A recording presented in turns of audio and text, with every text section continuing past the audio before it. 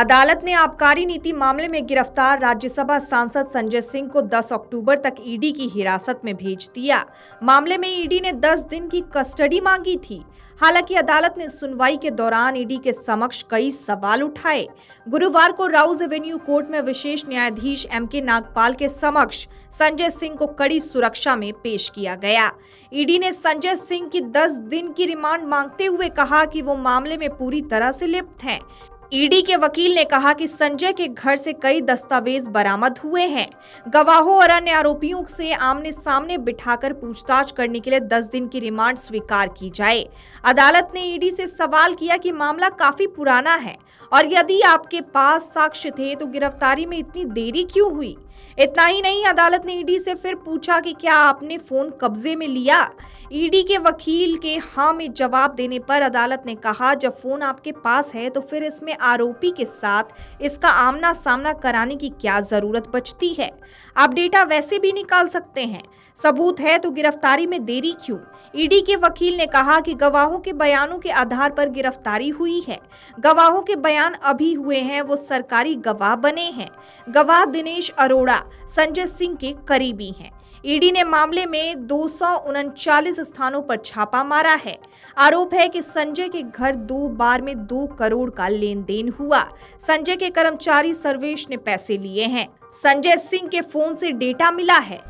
आपको बता दें, संजय सिंह के वकील मोहित माथुर ने रिमांड का विरोध करते हुए कहा कि ईडी के पास एक भी सबूत नहीं है। उन्होंने इसे राजनीतिक मामला बताया। मोहित ने कहा कि एक साल से जाँच जारी होने के बावजूद अदालत के समक्ष कोई साक्ष्य नहीं रखा गया। एकमात्र गवाह दिनेश अरोड़ा के बयान को आधार बनाकर उनके मुवक्किल को फर्जी मामले में फंसाया गया।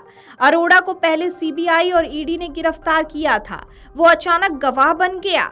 उसके बयान पर कैसे भरोसा किया जा सकता है? इसके अलावा एक अन्य आरोपी पर तीन करोड़ लेने का आरोप है और उसकी अग्रिम जमानत पर ईडी ने विरोध तक नहीं किया।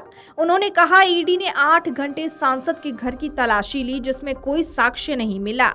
सबसे ज़रूरी है कि जिस सर्वेश पर पैसे लेने का आरोप है, उसका बयान तक दर्ज नहीं किया गया। उन्होंने कहा कि ईडी ने अभी तक उन्हें रिमांड आवेदन की प्रति तक नहीं दी। इतना ही नहीं, बता दें, ईडी को रिमांड की प्रति देने का निर्देश दिया जाए, वहीं संजय सिंह ने अदालत के समक्ष कहा कि मैं इतना अनजान आदमी तो नहीं कि गवाह को मेरा नाम तक याद ना आया।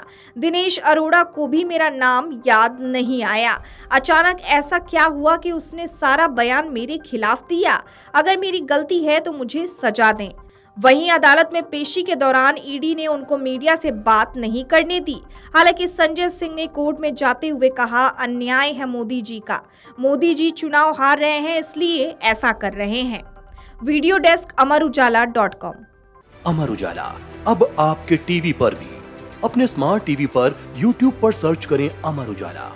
चैनल सब्सक्राइब करें और देखें ताज़ा खबरें। वो भी HD क्वालिटी में। और हाँ बेल आइकन दबाना ना भूलें। ताकि हर खबर हो आपके घर। अमर उजाला निष्पक्ष निर्भी निरंतर।